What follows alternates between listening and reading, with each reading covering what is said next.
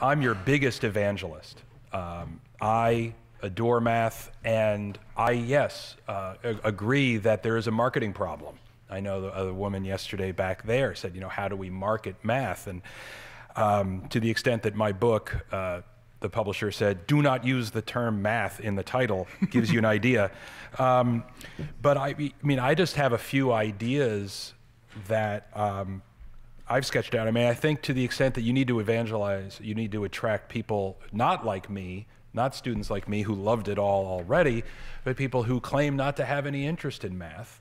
But you can sort of bury the pill in the apple by maybe instead of having the subjects, and this is obviously a pipe dream, but never, instead of having the, the subjects be, uh, you know, polynomials and then conic sections and whatnot, but maybe have something like the, you, look at the sections of a newspaper, okay? You have the math of business.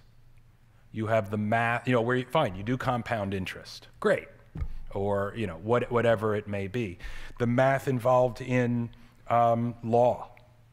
You have the, you know, the prosecutor's fallacy, DNA testing. You can deal, you know, we all know how we can exploit those subjects to teach math so if somebody's interested in law, not math, well, they'll sort of see what it is we're talking about. And there are all sorts of, you know, the math of art, whether you want to look at the golden section, okay, uh, depending on where you sit on that argument.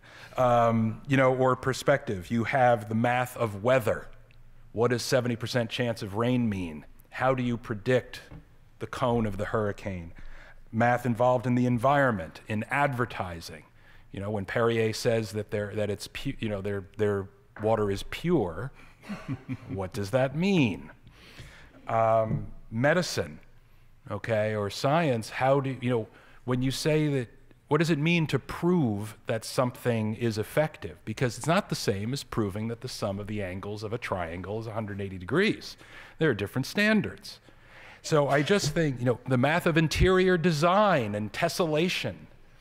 I think that if we, like I said, bury the math pill in various apples, it might go down a lot easier to the people who would otherwise think they're going to hate it.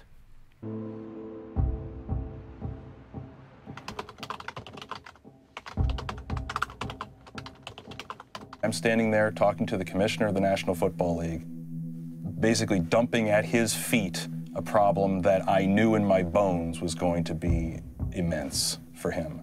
And in a way, I was becoming the math teacher that I had always planned on being. All I wanted to do was get him to understand the probabilities at work here, that it wasn't just me being a pain in the ass. It was the fact that when you're four out of four for a million to one shot, something's up. They also use probabilistic arguments to try to explain how prevalent it is. Here is one that's been used for decades. Okay, about 5% of school age children have ADHD, so that's one in every classroom. At least one in every classroom. Okay, that sounds reasonable if the classroom is about 25 kids and 5%, and so yeah, at least one in every classroom.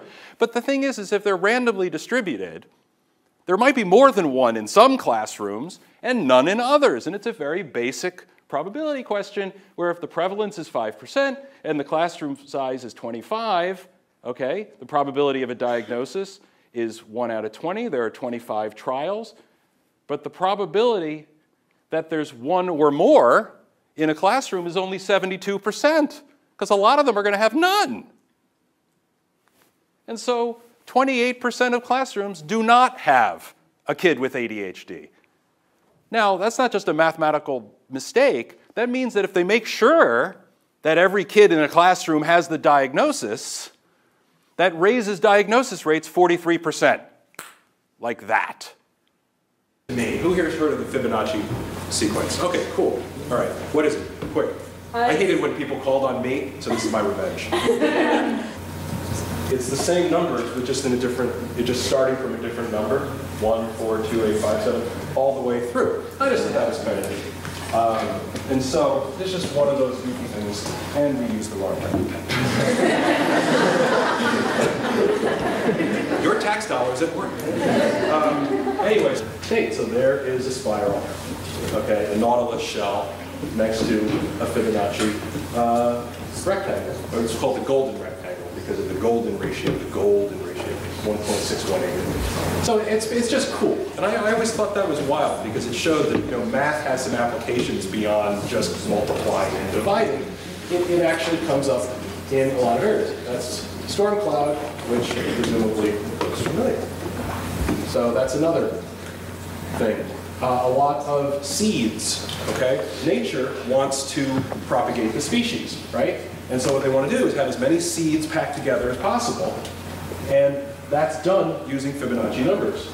Okay? That pine cone has eight spirals going around it. This one has 13 because that allows more seeds to be packed in the areas. The reason that notes sound good to us is because of their different ratios of the lengths of the string. And you certainly know how what a piano looks like. That's a logarithmic curve, okay, because that's how music works. So I, I really like numbers, again, because of how they affected art and affected things that we don't normally think of as being numbers, things that are sort of beyond numbers, but numbers are still very involved. And I was thinking like, gee, I wonder if something like popular music uses these ratios in the same way, because if it's pleasing visually, maybe it's pleasing orally as well. And even the Beatles used the golden ratio in their work. And so listen to this song. I, I, had to know what the numbers were right. in order to know that A, what I was doing was correct. Exactly. Okay? And, and, and that B, I would have evidence. Okay? But no one wants to hear that the dementia rates in the NFL population are 19 times that of regular America. Like, that won't mean anything unless they have people to attach it to, unless they understand the effects of it, unless they can relate to what those numbers mean. Okay? I mean, it, people think of, of, of numbers as, as cold, and of course they can be, but they're very, very powerful. You know, what numbers, what numbers lack in, in, in personality, they more than make up for in clarity. In clarity.